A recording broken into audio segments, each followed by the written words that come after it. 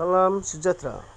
Kuala Lumpur, pertimbangan untuk tidak membenarkan pengeluaran RM10,000 daripada akaun satu caruman kumpulan wang simpanan pekerja (TWSP) bukan bermaksud kerajaan tidak mampu tetapi lebih kepada memastikan keperluan semasa dan jangka panjang adalah seimbang. Ketua Ekonomi Bank Islam Muhammad Afzal Nizam Abdul Rashid berkata, beberapa pendedahan yang dibuat oleh KWSP menunjukkan dengan jelas kebanyakan rakyat tidak mempunyai wang persaraan yang mencukupi selepas bersara.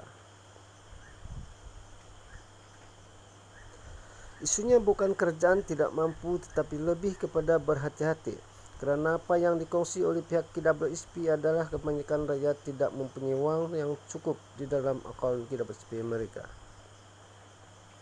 Boleh mahu keluarkan semua wang tetapi perlu diingat apabila seseorang itu bersara kemudian hari bagaimana jika wang itu tidak mencukupi untuk kos sara hidup? Siapa pula hendak menanggung kemampuan ketika itu? Juga kita tidak pasti. Katanya dalam sesi perbincangan forum pasca budget 2022 secara dalam talian.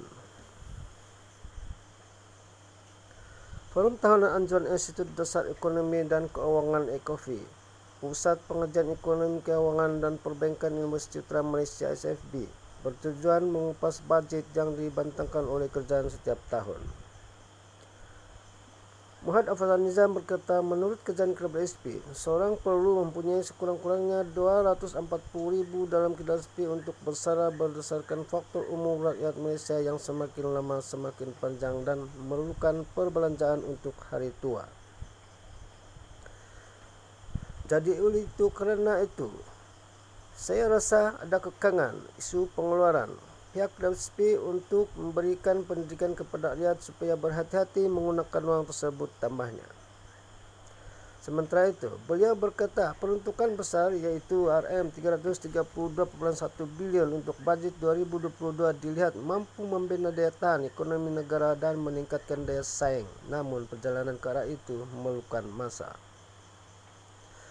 Sebagai ahli ekonomi, peruntukan tersebut merupakan satu peruntukan terbesar dalam sejarah dan kalau kita lihat dari segi impak kepada ekonomi secara mikro, ya biasanya impak dasar fiskal lebih cepat berbanding dengan dasar metode yang ditakbir oleh Bank Negara Malaysia.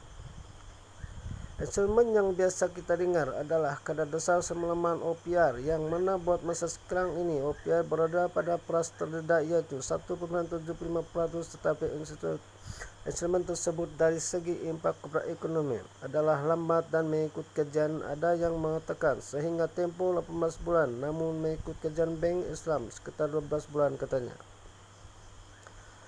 Beliau berkata, memandangkan dasar fiskal mempunyai impak yang cepat, ia amat bergantung kepada kecekapan jentera kerajaan dalam mengeluarkan insip atau melaksanakan langkah-langkah yang telah diumumkan. Disebabkan itu, saya percaya kenapa wujud ekonomi tahun hadapan lebih baik dari tahun ini iaitu sebanyak 5.5% ke 6%. Secara umumnya, kita berada pada kerangka yang tepat untuk pastikan negara dapat mencapai tahap negara yang berdaya saing, berdaya tahan dan menghasilkan produktiviti yang baik pada masa akan datang katanya. Sekian, terima kasih.